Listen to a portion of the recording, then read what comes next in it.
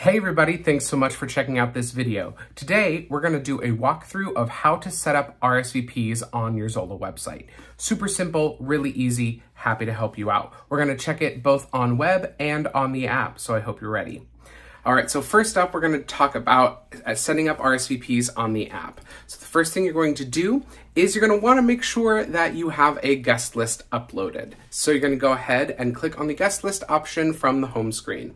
Now, I've already added some guests. As you can tell, uh, you can find our video on how to upload a guest list or add plus ones or anything like that later on the channel. Feel free to check that out or reach out to us if you have any questions. Now, once you've added your guests, you're all set.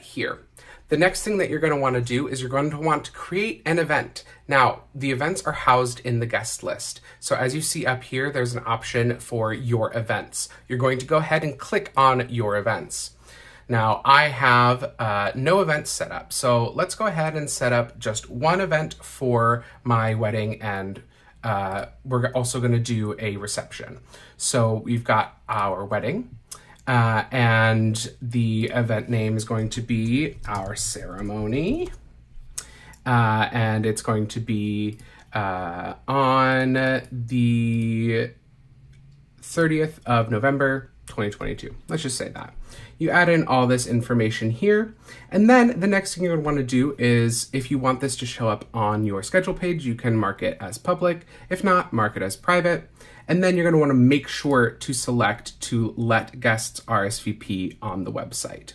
Now you can add other items to it, like uh, you can add any attire suggestions or any notes to the guests. And then, for example, uh, this one, I'm going to have just include both my ceremony and reception. Um, so I'm going to edit that here. I'm going to have our ceremony and reception.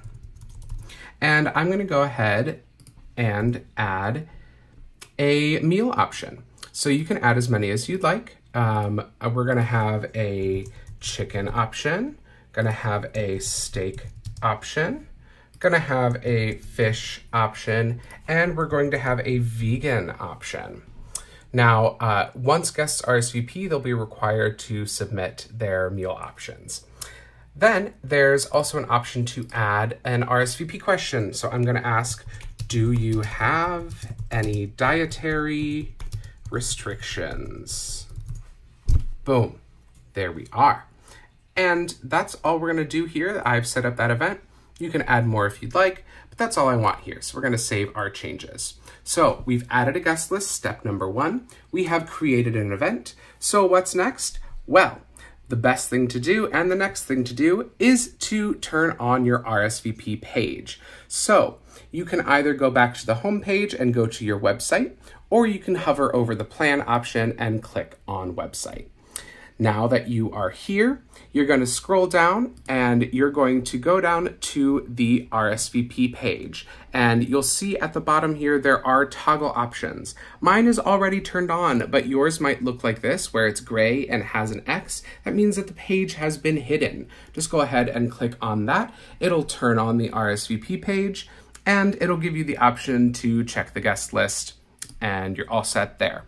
Now, your guests should automatically be uh, invited to the events that you've created. But if they're not, you can always double check this. Click on the guest list option. Then, when you're here at the Your Guest List, if you hover over that drop down menu, you can go to Invite Guests to Events. Now, as you see, my event that I've created just now, our ceremony and reception is here in the column, and then all of my guests are listed here. And I've made sure that all of the guests are checked in this checkbox. That means that they can RSVP by going to my wedding website and typing in their name. All set up. That's all you got to do. I know, super simple. So let's go ahead and take a peek and see how it looks on the app. You ready? Let's go. All right, so on the app, once you are there, you're gonna go ahead and you're gonna start off in the guests and RSVP. And here you're going to want to go into your events. You can always create a new event. As you see, mine is already there. But if you haven't, go ahead and create a new event. It'll walk you through the same process that it was like online. But to make sure that your guests are invited, you can type, tap on the event that you want, then tap on the attendees option at the top and you'll get the same guest list here and you wanna make sure to choose all of the guests that you want invited to that event. Then you can just click the back button and head back to the home screen.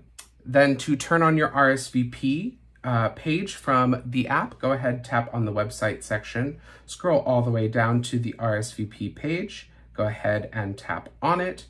Then once you're here, you're gonna want to go into the edit settings menu and you're going to go over here where it says this page is included on my website and just go ahead and turn that toggle switch right on and save your changes. All right, now the RSVP is active on your website. Then just make sure that your website is visible by clicking this little, little toggle switch right there, make it visible, and you're all set. Perfect. Well, I hope that's been helpful. Now, happy planning.